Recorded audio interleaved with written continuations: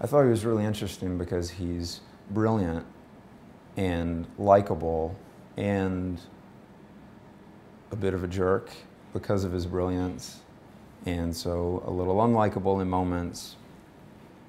I think he goes from caring about himself and making a big splash to caring about the world, really. And I think that there's a, he definitely has a crisis of conscience, and that's definitely, that's an interesting character to play.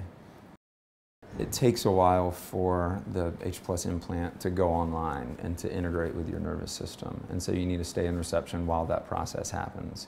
Um, sort of like turning on, you turn on a simple cell phone and it's ready to go immediately. You turn on a cell phone that has, you turn on an iPhone or an Android and it takes a few minutes for it to load and for everything to start happening. And I think that when you initially get the implant, it takes a little while for it to integrate and for it to go online. The converse is true too. To get it to shut down, it needs to get no reception for a week.